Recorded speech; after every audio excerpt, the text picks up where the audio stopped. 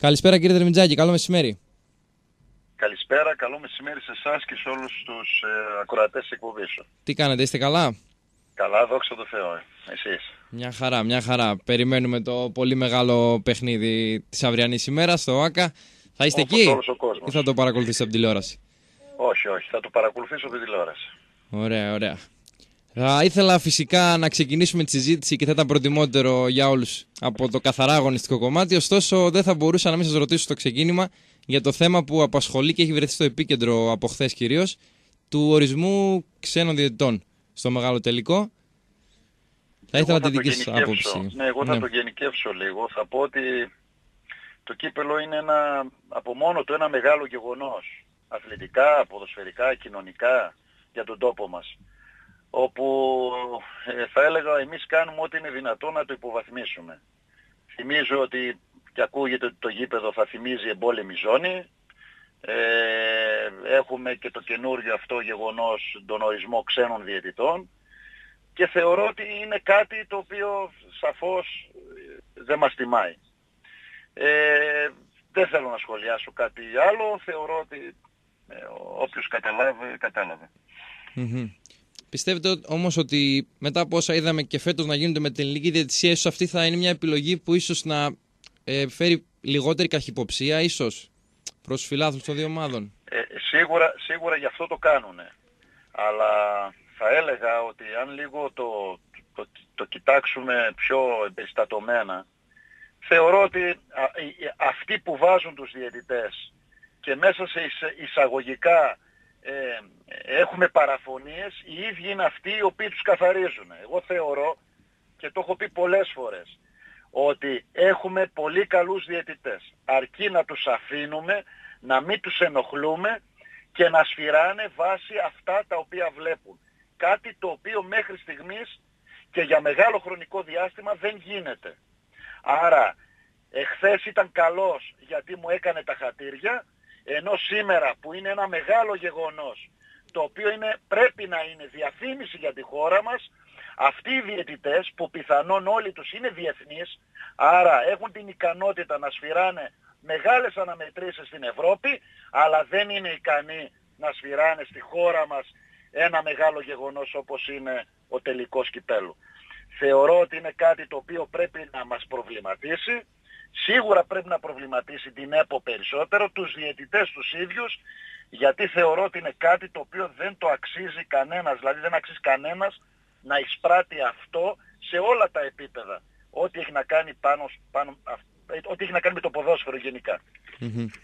Σίγουρα και τουλάχιστον ευχή όλων είναι να μην βρεθούν οι διαιτητές και πάλι στο επίκεντρο σε ένα τόσο σημαντικό παιχνίδι που κρίνει ένα τρόπαιο. Α ελπίσουμε να μην ασχοληθούμε, να ασχοληθούμε όσο το δυνατόν λιγότερο γίνεται με τους διαιτητές, με τη διαιτησία γενικότερα και να, το θέμα, το να θέμα κερδίσει το είναι ποδόσφαιρο κατά όπω είναι πόσο- κλισέ, αλλά αυτό είναι ευχή όλων. Ε, είχαμε, είχαμε, είχαμε την τύχη να παρακολουθήσουμε πολύ μεγάλες αναμετρήσεις το τελευταίο διάστημα, ότι, ό,τι είχε να κάνει με το, με το Champions League, με το Europa League, να δούμε με, με, μεγάλες αναμετρήσεις μεγάλων ομάδων και πολύ καλών παιχνιδιών. Θα διαπιστώσετε όμως, όπως διαπίστωσα και εγώ, ότι γίνανε και λάθη διαιτητικά. Δείτε όμως πώς συμπεριφέρονται, πώς το αντιμετωπίζουν αυτοί και πώς το αντιμετωπίζουμε εμείς. Εμείς δυστυχώς, όχι ότι, όχι ότι δεν έχουν προκαλέσει, δεν έχουν δώσει αρνητικά δείγματα γραφής οι διαιτητές, βεβαίως. Αλλά θεωρώ ότι το πρώτο που πρέπει να κάνουμε είναι να αλλάξουμε τον τρόπο σκέψης, την, την, την, την, τη φιλοσοφία μας, την κουλτούρα μας, ώστε να, να, να δεχόμαστε ένα λάθος ενός διαιτητή σαν ε, ένα λάθος βάσει το ότι το παιχνίδι το ίδιο από μόνο του είναι ένα παιχνίδι λαθών. Δυστυχώς εδώ και χρόνια έχουμε μπει σε άλλη διαδικασία που δεν ξέρω κατά πόσο είναι εύκολο αυτό να το πετύχουμε σαν, σαν χώρα, σαν λαός γενικά. Μμμ. Σίγουρα πρέπει να αλλάξουμε νοοτροπία λοιπόν Θέλει- ριζικά. Θέλει, θέλει, μεγάλη, θέλει μεγάλη συζήτηση. Σίγουρα είναι Αλλά μεγάλη το συζήτηση μόνο αυτή η σίγουρο, διαιτησία. Το να, ορίζουμε, το να ορίζουμε ξένο διαιτητή σε ένα μεγάλο event, σε ένα μεγάλο γεγονός για τη χώρα μας, ε, πιστεύω ότι δεν μας τιμάει. Ή κάτι κάνουμε λάθος, κάτι κάνουμε στραβά. Σίγουρα αυτή η συζήτηση για τη διαιτησία είναι μεγάλη και ατελείωτη. Α ελπίσουμε, εγώ θα ξανατονίσω, να μην είναι οι πρωταγωνιστές οι διαιτητές σε ένα τόσο σημαντικό παιχνίδι και πάλι και να, να απολαύσουμε μόνο ποδόσφαιρο. Να μην επηρεάσουν αυτό το παιχνίδι, να μην χρειαστούν οι αποφάσεις τους να είναι καθοριστικές και φυσικά να μην είναι λανθασμένες σε καμία περίπτωση. Απλώς και εμείς πρέπει, και εμείς πρέπει να βοηθάμε γι' αυτό. Όλοι Σίγουρα. μας που ασχολούμαστε με το ποδόσφαιρο. Όλοι πρέπει να βοηθάμε. Σίγουρα χρειάζεται, όπως Είναι είπατε και πώς νωρίτερα, βλέπεις αυτό το θα ποτήρι, κρατήσω με το αλλαγή άδειο. Φιλοσοφίας. Ναι, είναι πώς βλέπεις το ποτήρι, μισοάδιο, μισογεμάτο. Ναι, βεβαίως. Για να περάσουμε τώρα στα καθαρά αγωνιστικά, αυτά που πρέπει να μας απασχολούν. Πώς βλέπετε το παιχνίδι, έτσι ένα αρχικό σχόλιο θα ήθελα.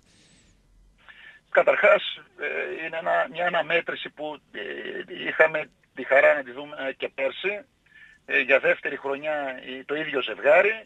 Ε, για την ΑΕΚ είναι τρίτη χρονιά συνεχόμενη και θα έλεγα ότι εδώ φαίνεται και η εξέλιξη, η εξέλιξη, η θετική εξέλιξη αυτών των ομάδων.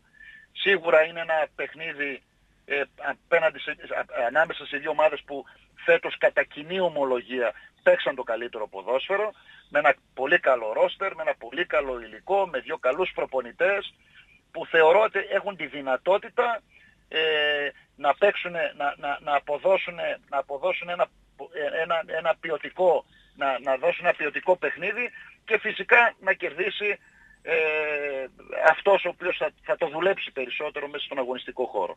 Είναι ένα παιχνίδι γενικά ειδικών συνθήκων το οποίο θα χρειαστεί ε, μεγάλο πλάνο και στρατηγική στο τακτικό κομμάτι. Αυτή τη στιγμή, αυτή την την τελευταία χρονική περίοδο, όπως βλέπετε την κατάσταση των δύο ομάδων αγωνιστικά, ποιος πιστεύετε ότι κάποια ίσως έχει ένα μικρό προβάδισμα, ένα μικρό αβαντάζ ώστε να χαρακτηριστεί φαβορή; Ναι. Ε, πιστεύω ότι και οι δύο ομάδες έχουν τα θετικά. Έχουν, θε- έχουν πολλά θετικά. Τα οποία όμως, αν δεν τα προσέξουν, μπορεί να τους γυρίσει μπούμερα σε αρνητικό. Και τι θέλω, τι θέλω να πω. Από τη μια, η ΑΕΚ έχει την ψυχολογία, λόγω του ότι ε, ε, έχει κατακτήσει ε, το πρωτάθλημα, αλλά αν το τελευταίο διάστημα έχει υπάρξει εφησυχασμός, αυτό, αυτός ο εφησυχασμός θα φανεί και στον αγωνιστικό χώρο. Άρα το πλεονέκτημα η ψυχολογία θα γίνει μειονέκτημα εφησυχασμός. Από την άλλη, ο ΠΑΟΚ. Ο ΠΑΟΚ πραγματικά το τελευταίο διάστημα, βάσει την εικόνα των δύο ομάδων, ο ΠΑΟΚ είχε μια σταθερότητα, μια αγωνιστική πειθαρχία και μια εικόνα πάρα πολύ καλή. Αυτό που θέλει να δείξει, να αποδείξει ότι αυτό που ακούγεται τουλάχιστον, που εγώ δεν συμφωνώ, να δείξει ότι είναι καλύτερη ομάδα και ότι άδικα έχασα το πρωτάθλημα.